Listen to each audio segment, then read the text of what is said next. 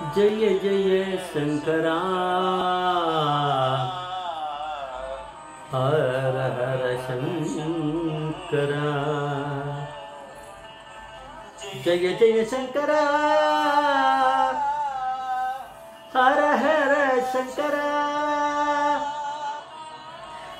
ஜெய ஜெய சங்கரா ஹர ஹர சங்கரா ஜெய ஜெய சங்கரா ஓம் குருபியோ நம நமஸ்தே சுப்ரநாதம் காஞ்சிபீட்டம் சுரபச்சிதம் திபேகணாபேசம் காஞ்சி ஜுகதம் வசத அபார பிரடசிந்தம் ஞானம் சாத்திருப்பணம் ஸ்ரீ சந்திரசேகர் குரு பிரணமாபுதானம் கலிய தெய்வம் காஞ்சிமான் இந்த யூடியூப் சேனல் பிரத்யேகம் அந்த மகாபிரிய பக்தருக்கு ஏற்பட்ட ஏற்பட்டு கொண்டிருக்கும் அனுபவங்களே ஒவ்வொரு நாளும் ஒவ்வொரு அனுபவத்துக்கு ஒரு தலைப்பு. இன்னைக்கு அனுபவத்தோட தலைப்பு தலைப்பு அல்ஜீரியா ரயில்வே ப்ராஜெக்ட் காஞ்சி மடத்திலிருந்து இயங்கியதா?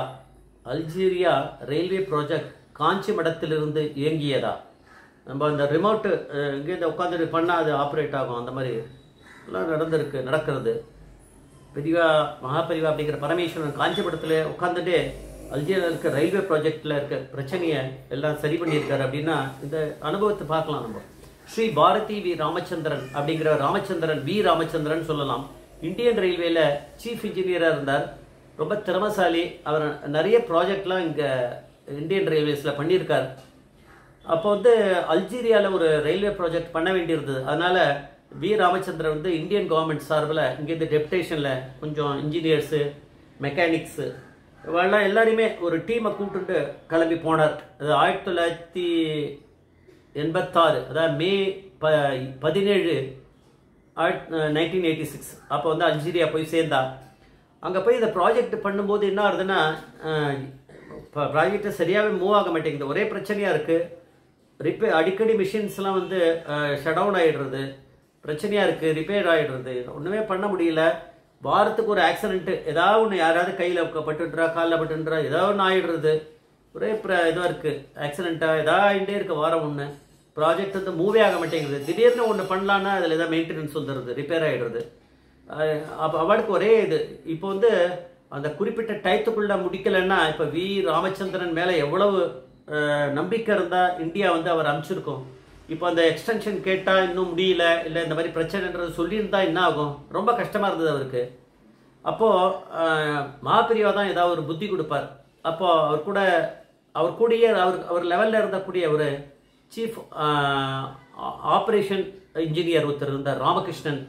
அவருக்கு மகாபிரியாவை பற்றி ரொம்ப தெரியாது. ஆனால் அவர் சொன்னார் ரெண்டு பேரும் பேசிட்டு இருக்கா அவர் ரூமில் உட்காந்துட்டு இவர் இந்த பக்கம் உட்காந்துட்டு இருக்கார் அவர் எதிர் பக்கம் உட்காந்துட்டு இருக்கார். ராமச்சந்திரன் எதிர்க்க இவர் உட்காந்துட்டு இருக்கார். ராமகிருஷ்ணன். ராமகிருஷ்ணன் கேட்குறார் ராமகிருஷ்ணன் கிட்ட அவர் சொல்கிறார் இந்த மாதிரிலாம் பிரச்சனையாக இருக்குப்பா என்ன பண்ணுறதுன்னு தெரியலையே. யார் வே- வேண்டிக்கிறது? நம்ம இதெல்லாம் யார் ப யார் தான் பண்ண முடியும் அப்படின்னு கேட்குறாரு ராமகிருஷ்ணன். யார் நம்ம வேண்டிக்கிற கடவுள் தான் நம்மளுக்கு அனுகிரகம் பண்ணணும். என்ன பண்ணுறது ஏன் கடவுள் அப்படின்றது இப்போ மேலே வந்து ஒரு படம் ஒன்று இந்த திருவுருவ படம் ஒன்று மாட்டியிருக்குங்க. இது யார்? அவருக்கு தெரியாது நிஜமாவே. ராமகிருஷ்ணன் கேட்டார். அப்போ தான் அவர் திரும்பி பார்க்குறாரு. புத்தி யார் மூலமாக தானே வரணும் ராமச்சந்திரன். இவர் எங்களுடைய குரு சங்கராச்சாரியார். அப்போ அவர் தானே இங்கே இருக்கார். அங்கே பார்த்துட்டு இருக்கார். அவர் தான் பண்ணணும் அப்படின்னு சொல்லிட்டார் ராமகிருஷ்ணன். உடனே அவருக்கு ஸ்ட்ரைக் ஆச்சு. உடனே ஒரு எடுத்தார் ஒரு பேப்பர் எடுத்தினார் லெட்டர் எழுதினார் காஞ்சிபுரத்துக்கு அமிச்சார். இந்த மாதிரி ஒரு ப்ராஜெக்ட் வந்து நின்றுருக்கு. அது அப்படியே நிற்கிறது ஒரே பிரச்சனையா இருக்கு. மாப்பிரிவை தான் அனுகிரகம் பண்ணோம் அதை அங்கே போய் லெட்டர் சேர்ந்துருக்கு. உடனே அதை யாரோ படிச்சு காமிச்சிருக்கா. பெரியவாளுக்கு படிக்கவே வேண்டாம். அவர் தானே இந்த லீலையெல்லாம் பண்ணி அனுபவிச்சிருக்கார் படிச்சு முடிச்ச உடனே பெரியவா வந்து உடனே பிரசாதத்தை அனுகிரகம் வேண்டிட்டு பரமேஸ்வரன் அனுகிரகம் பண்ணிட்டா போருமே. பிரசாதத்தை கொடுத்துருக்கா. அந்த பிரசாதம் இங்கே வந்திருக்கு. விபூதி குங்குமம்லாம் வந்திருக்கு. வந்து சேர்ந்தவனா இருக்கு. ஒரு அது வந்தவொடனே ஏதோ தெரியும். உத்வேகம் வாளுக்கு. அதை வந்து எல்லாரும் இட்டுண்டா. அதுக்கப்புறம் ஒவ்வொரு சனிக்கிழமையும் வந்து இவருடைய ரூமில் தான் மாப்பிரிவா இருக்காளே. அங்கே வந்து ஒரு பிரார்த்தனை நடக்கும். எல்லாரும் நெத்தியில் அந்த விபூதி குங்குமம்லாம் விட்டுட்டு அங்கே உட்காந்துட்டு மகாபிரிவாளை பற்றி தியானம் பண்ணுவா. அப்புறம் போவா. இது அப்படியே எடுத்து இப்போ பெரியவா எல்லாருக்கும் தெரியா பெரியவா ஏற்கனவே தெரியும். இருந்தாலும் அங்கே இருக்கவாளுக்கு தெரியணுமே. அதுக்கப்புறம் ப்ராஜெக்டில் வேகமாக போச்சு. எப்படி போச்சு அப்படின்னே தெரியாது. கட கட கட கட ப்ராஜெக்ட் வந்து அட்வான்ஸ் ஆகிட்டே போயிருந்தது. இவ்வளோ நாள் எவ்வளோ ப்ரா ஒன்றுமே நடக்காமல் இருந்ததெல்லாம் அந்த மகாபிரிய பிரசாதம் வந்து அவள் இட்டுண்டு அதுக்கு அடுத்தது அந்த நொடியிலேருந்து என்னவோ தெரியல எப்படி நடந்ததுன்னு தெரியாது எதுவுமே ரிப்பேர் ஆகிற அந்த மிஷின்லாம் ஒழுங்காக ஓட ஆரம்பிச்சுது. எங்கேருந்து வந்தது அப்போ?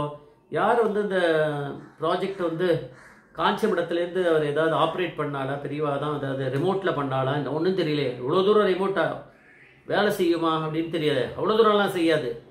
ஆனால் இந்த ரிமோட் இந்த மாதிரி சிக்னல் சொல்கிறாள் இந்த மாதிரி சேட்டலைட் அது இது அந்த சிக்னல்லாம் ஏதோ பண்ணுறதுன்னு நம்ம பார்க்குறோம் ஆனால் அதை விட அந்த சிக்னலே கொடுத்ததே மகாபரிவா மாதிரி பரமேஸ்வரன் தான்.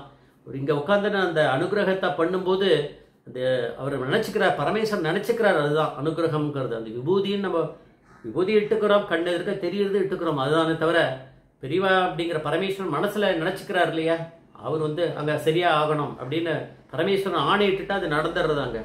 அங்கே ப்ராஜெக்ட் நடந்துருது அதுதான் உண்மை. சத்தியம் அதுதான். அதனால் பிரிவா அப்படிங்கிற பரமேஸ்வரன் இங்கே நடக்கும்போது அங்கே காரியங்கள் நடந்துடுறது அப்படிங்கிறத தெரிஞ்சுக்கணும்.